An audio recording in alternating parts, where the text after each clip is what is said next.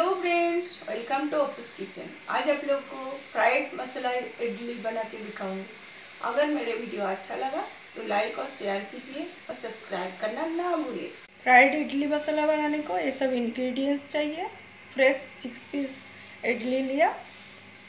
और बनाने के लिए दो चम्मच ऑयल स्वाद अनुसार नमक सांबर मसाला एक चम्मच, आधा चम्मच अमचूर पाउडर आधा चम्मच मिर्ची पाउडर और फोड़ने के लिए राई, जीरा, कड़ी पत्ता, दस बारह और दो मिर्ची सिलेक्ट करके कट के रखा। गैस ऑन करके एक कढ़ाई गरम होने के लिए रख दिया। उसमें दो चम्मच ऑयल ऐड करूँगी। जब तक कढ़ाई गरम होता है, तब तक इडली कट के रेडी कर लेती हूँ। इडली को ऐसे लंबा स्लाइस में कट करके रेडी कर लेती हूँ पहले।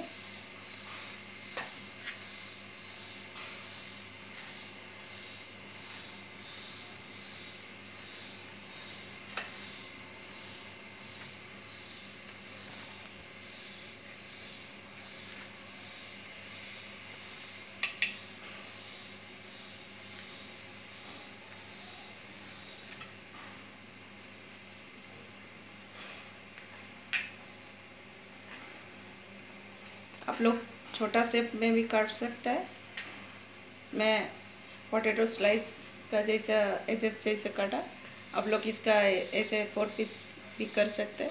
बीच में और एक कट लगा सकते हैं। ऐसे सारे कट के रेडी कर लिया। ऑयल गर्म हो गया। और जीरा, राई और कड़ी पत्ता। और हरे मिर्ची ऐड कर दिया। अभी जो इडली कट के रखा, वो भी मैं ऐड कर रहा हूँ। फोड़नी फ्राई हो गए, चटकने लगा, इसके लिए इडली भी मैं रख लिया, ऐड कर दिया। अब इसके अच्छी तरह से दो मिनट पहले ऑयल में फ्राई कर लूँगी। और दो मिनट फ्राई होने के बाद मैं थोड़ा जो सूखा मसाला लिया, एक चम्मच आमचूर पाउडर, एक चम्मच रेड चिली पाउडर और दो चम्मच सांबर मसाला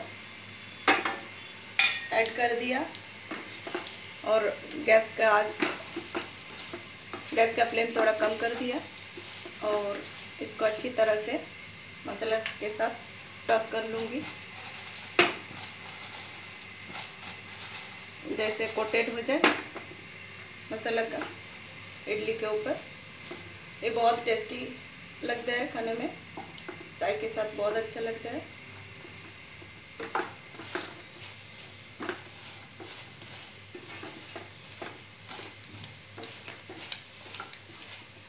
मसाला के साथ और पाँच मिनट फ्राई कर लूँगी।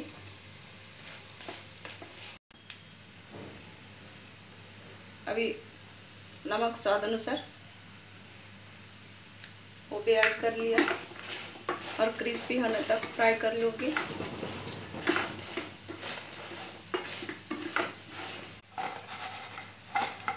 ऐसे सारे मसाले के साथ टॉस कर लेने का।